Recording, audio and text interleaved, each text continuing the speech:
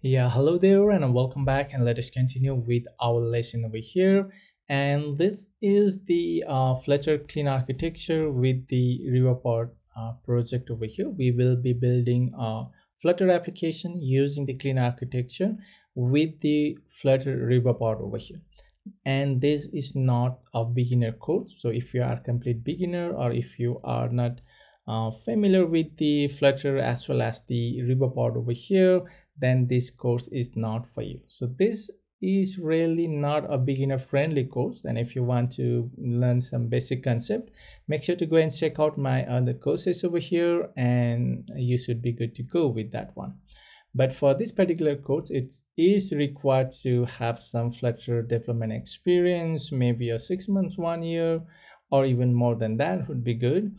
And also the um, the riverpod or the knowledge of the riverpod is required and if you are not sure about how to use the flutter riverpod make sure to go and check out my course on that one. I have a full course regarding the flutter riverpod as well. And um, that's just the um, thing that you have to know about this. That is the prerequisite for this particular course. So let us get started and welcome to the flutter clean architecture course with the flutter riverpod. So let's meet up in the next one. Till then have a great day let us continue with our lesson over here. So the next step we will go to our repository over here and let's create the new file and i'll create the interface first of all over here. That will be i sign underscore the up and that will be of the i sign up underscore the repo s i t o r y repository right? Dot the dot file let's just copy this and also i need to create a new one that will be of the sign up repository which will be of the concrete class. And now let's go to the i sign up over here and let's just go and create the uh, abstract class first of all. Abstract the interface which is of the pure interface that we want to create and then the class. And that will be of the i sign up uh, repository over here and we'll just go and create a one uh, new uh, method over here. Uh, the abstract method that will be of the future and then the sign up. And the return type each of uh, the sign up uh, sign up response. And let's just import this one. And then the type or the parameters that we need to pass in is the type of the sign up request over here and now once uh, we have this interface created let's go over here. And i'll just create the i guess i'll just create the final uh, class over here. And that will be of the sign up uh, repository over here.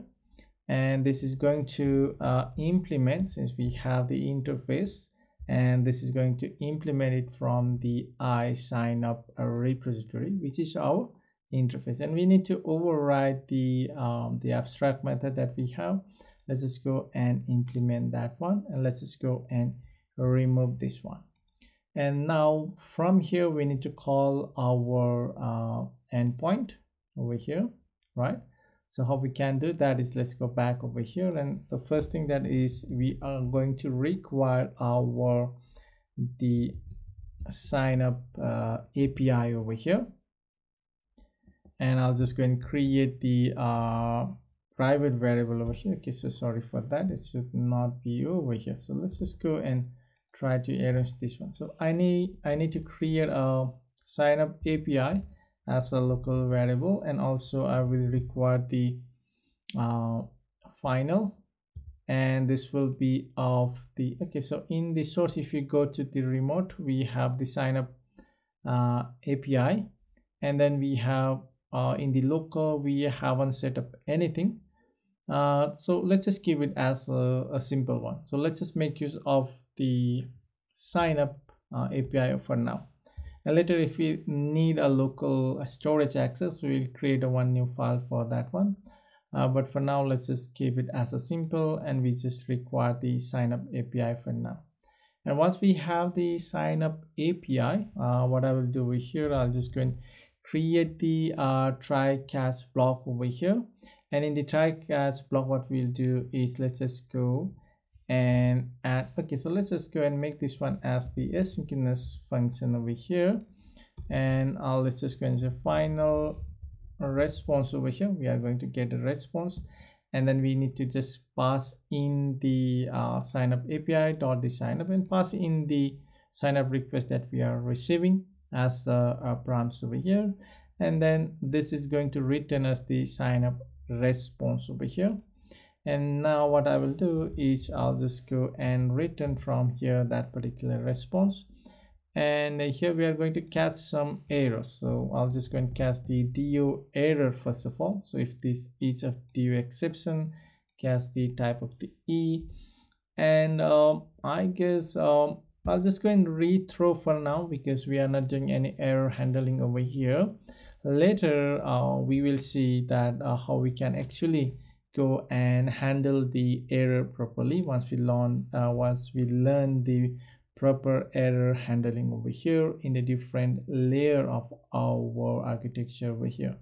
But for now i'll just go and catch and rethrow that particular error for now and i'll just go and make this one as the uh, private or let's just go and remove that and just go and say the underscore because we haven't used that one. So i'll just go and remove that. And in case later if i require it i'll just bring it back over here.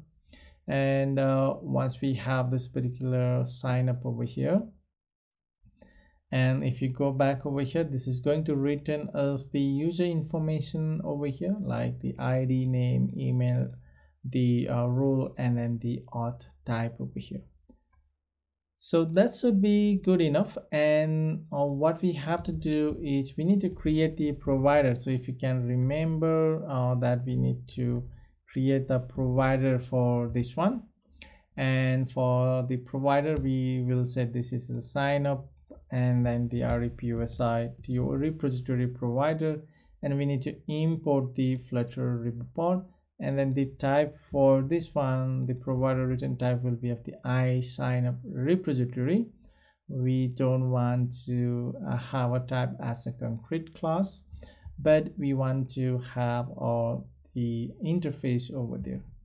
And now what i need to pass is the sign up api and currently we don't have that and uh, we haven't created that previously i guess. Yeah so what i will do over here is i will just go and create the provider provider over here as well.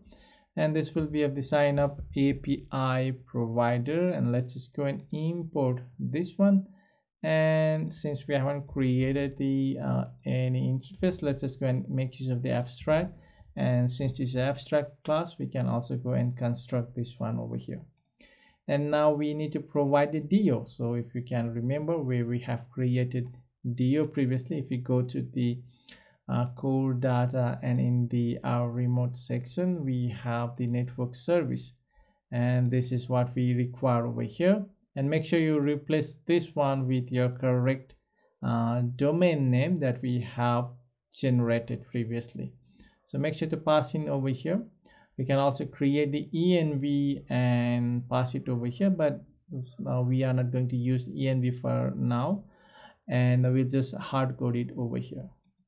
So uh, let's go and grab that one final and then the i'll just go and call this one as the Dio and this will be of the network service provider. So let's just go and import that. And i'll just go and copy this and uh, paste it over here that should be good enough i guess. So now we have the sign up api provider and let's go back over here and i need to grab that one which will be of the uh, sign up api and i guess that should be fine. And from here i'll just go and return on these. That should be good enough. So now we have our repository ready and this is just going to do one single task for now which is to sign up the user over here. So currently we have set up our dto and then we have our the data source which is of whether we are going to make use of the local or the remote. And then we have the repository and in the repository we have set up the proper dependency that is to make use of the api call. And uh, from here we are just going to return the uh, sign up response. Next we need to work on the different layer over here. For now don't worry about creating and working with a different layer. Once we complete once i complete all of the layer in our sign up feature over here then i'm going to explain each of the layer uh, for you. But for now uh, let's just do it practically. So uh, we will keep continuing uh, creating a different layer over here and i may explain a bit but at the end i mean i'm going to explain you all of the layer then why we created that particular layer and all of the stuff over here and if you want to um, learn more uh, in a deep lesson uh, like if you want to go deeper in, into the clean architecture and solid principles and all of those things you can just go and check out my course in my website over here uh, which is of the flutter master class over here. The we i have a two session for this one. One is master class one and then the master class two over here and over here if you go to the section you will learn uh, you have a whole section about the clean architecture and then the class modifier object oriented programming. You have the solid principle which is the must to have to learn about the clean architecture and uh, about the concurrency and then the parallelism in the dart programming.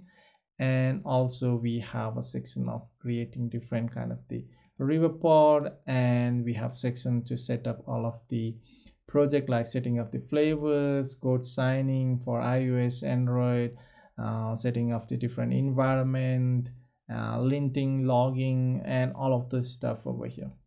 And i have the whole section on the firebase integration as well like push notification crashlytics and um, like the performance firebase performance remote config and all of this information this uh, is the much more deeper uh, you'll get much more deeper if you take this particular course but it's not required. So if you want to learn more just go and check out this one. Uh, this is go to the course if you want to be a job ready flutter developer because you need to understand the op concept solid principle concurrency and parallelism and all of this stuff to and make use of the clean architecture properly so that's all and uh, we will meet up in the next one. Till then have a great day